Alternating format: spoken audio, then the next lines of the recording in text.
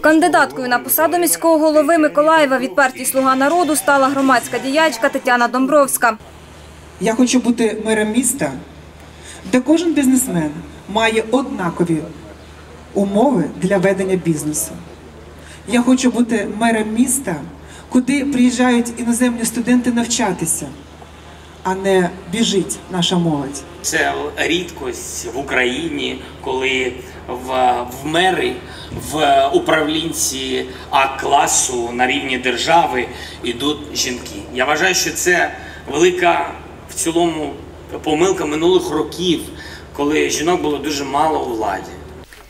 До першої п'ятірки війшов депутат Миколаївської обласної ради Іван Кухта. До 2018 року був у партії «Блок Петра Порошенка Солідарність». Свій вихід з партії пояснює процесам, що підривають авторитет керівництва міста. Депутату пропонували перейти до інших партій, але він обрав «Слугу народу».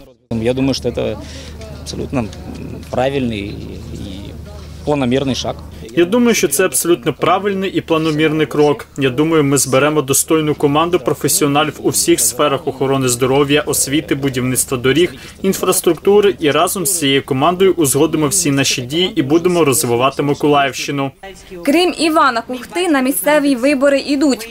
Кандидатка економічних наук, голова громадської організації Всеукраїнська асоціація фінансових компаній Анна Замазаєва, голова обласного штабу партії «Слуга народу» Віталій Кім, громадський діяч, засновник відкритого громадського простору «Восьмий причал» Микола Капацина, активіст Олександр Розумний, виконуюча обов'язки директора обласного госпіталю для ветеранів війни Олена Кузьміна, громадський діяч, представник Баштанської об'єднаної територіальної громади Віталій Огмерський, керівник Первомайського бюро правової допомоги Віталій Борхун, завідувачка відділення Миколаївської обласної лікарні, голова виборчого штабу на виборах президента Ірина Шабільянова.